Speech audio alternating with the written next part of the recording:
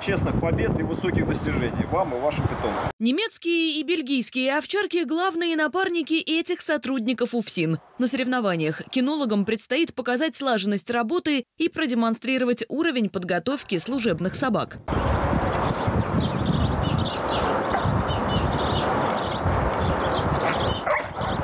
Подача голоса равна сдаче норматива. На территории городка для содержания служебных собак четвертой колонии псы, участники многоборья, внимательно исследуют макеты автомобилей и постройки, в которых притаились условные осужденные. Уметь обнаружить ищейки обязаны не только человека. В программе также поиск взрывчатых и наркотических веществ. Вот эта собака э, уже ездила дважды на российские соревнования, там мы где-то в середине в общем зачете. Я свою собаку тренирую каждый день. У нас есть э, специальные э, имитаторы наркотических веществ. Самого наркотического вещества там нет.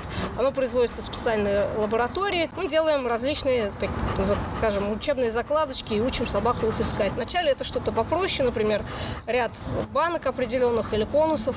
Потом что-то посложнее, например, прячем в сумке или прячем в помещении или прячем в автомобиле. Успех воспитания служебной собаки напрямую зависит от доверия питомца владельцу. Взаимоотношения с собакой строятся на принципах сотрудничества. В проведенном конкурсе сотрудники кинологической службы со своими питомцами показали на практике качество обучения, работоспособность и результативность выполнения различных задач. Участники продемонстрировали четкую и слаженную работу при прохождении различных этапов конкурса.